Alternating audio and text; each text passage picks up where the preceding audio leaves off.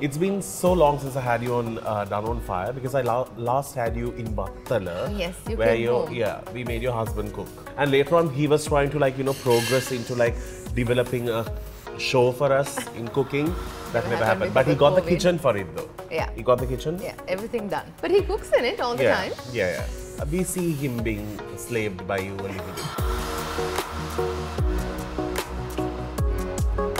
Shanti wears multiple hats. Annoying now how to like even compete here. She has now sung a song. I have always heard from her mum saying, Aunt doesn't sing, no, she used to sing those days.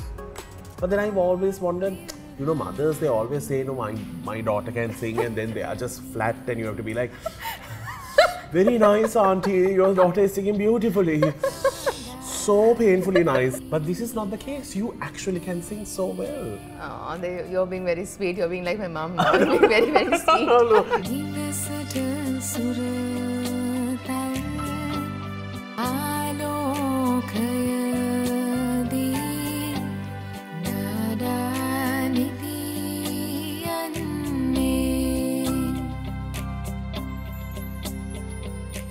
I should start a doctor band, like a true doctor band.